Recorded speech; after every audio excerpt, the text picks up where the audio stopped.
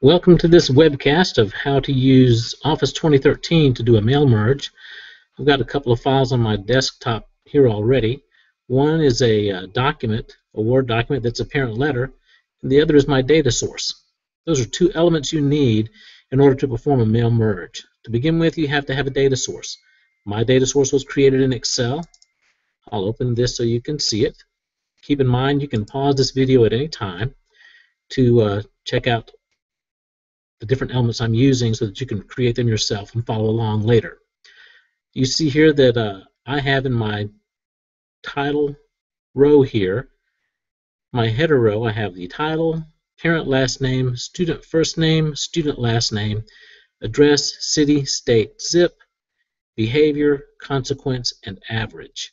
These are just the fields I'm using today for this example. You can always add more fields by just creating more uh, field headings over here and then adding the data to your database. But anyway, this is my database to begin with. I have saved it as an Excel spreadsheet on my desktop, so I will close that now, and I'll go to my letter. This will be a sample letter that I have already created in Word, and what I plan to do is take these words in all caps and replace them with information from my database. So let's get started.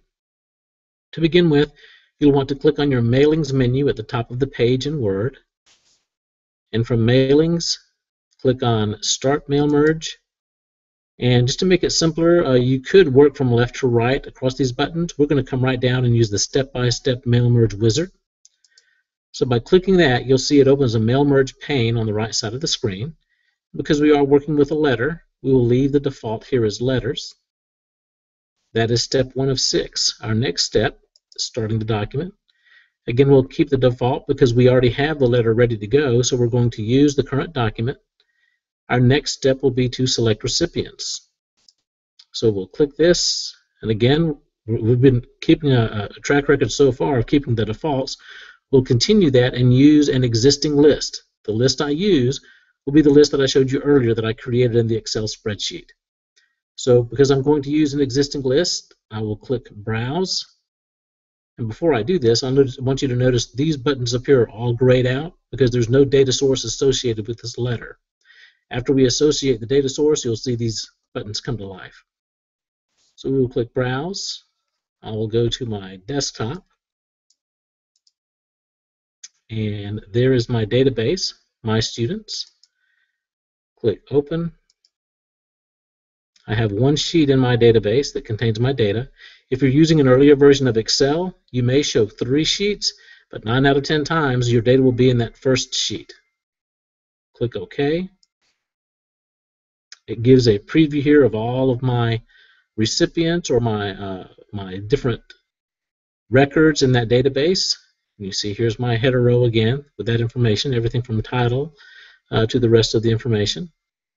I also have check marks here if I wanted to exclude folks from this letter. I could deselect them by taking the check mark out of the box. I want to keep them all, so I'll keep them all checked. We'll click OK. And now you notice these buttons up top are, are active. They are highlighted. Well, we've completed step three of six by selecting the recipients. Next it says to write your letter. We've already written the letter, so we're done. We won't have to use any of these blocks, address blocks, reading lines, electronic postage, or anything like that we're going to just go ahead now and start replacing this text in caps with these merge fields here. So the first thing I'll do, I will double click the word parent to select it and then where it says insert merge field because I have a field for a title and the parent last name I'm going to put both fields in there. So I'll start by clicking title and that replaced the word parent because I had it selected. Very important, next I will click space on my space bar so that I'll have a space between the title and the next merge field, which will be the parent last name. Coming down now to student, I'll double click the word student, come back up to insert merge field, insert the student first name. The word behavior, I will double click, insert the merge field for behavior. I'll come back, double click student as I did earlier, and replace it with student first name. Double click. Oh, I see I've left some of these. You see I'm I'm forgetting my formatting. I need to put spaces between these fields and the next word, or else my words will all run together. It looks like I will have forgotten to put in spaces. And for consequence, I will insert the merge field for consequence. I don't need a space there because between the field, the next element is a period, so there's no space between the word and a period.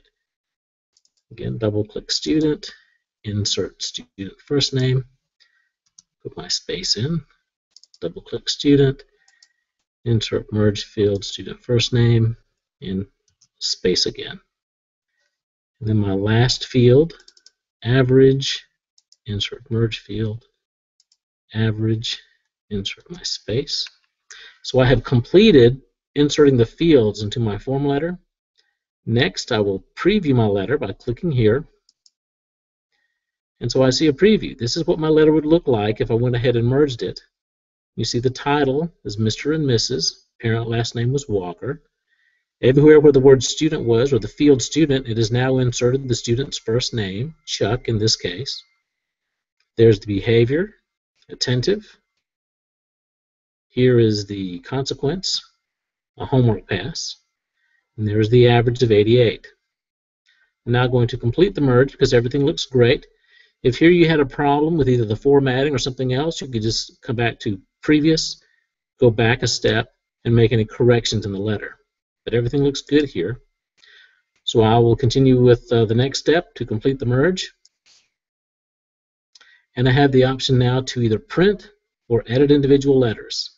I rarely send something straight to the printer. I'd rather click on this edit individual letters so that it will create the letters so that I can review them before printing. So I will click edit individual letters. I want to merge all records. Okay. Now what this does is this creates another Word document for me. You may have noticed that down here in the taskbar I now have two Word documents open. One document that is, this was actually the, the merged document that I was working on. And uh, the way I can tell the difference, this one you see in the status bar, it shows page one of one because the merged document was only one page long. My next document here, you'll see page one of five. I have five pages in the final merged document. And as I scroll through these to take a look at these, you see there's, there's my first letter. Dear Mr. Floyd, your child Andy was very disrespectful in class today. Moving on to the next page. Dear Ms. Moore, your child Jessica was very helpful in class today. And so forth and so on. Each of the letters is unique based on the information that was drawn from the database field.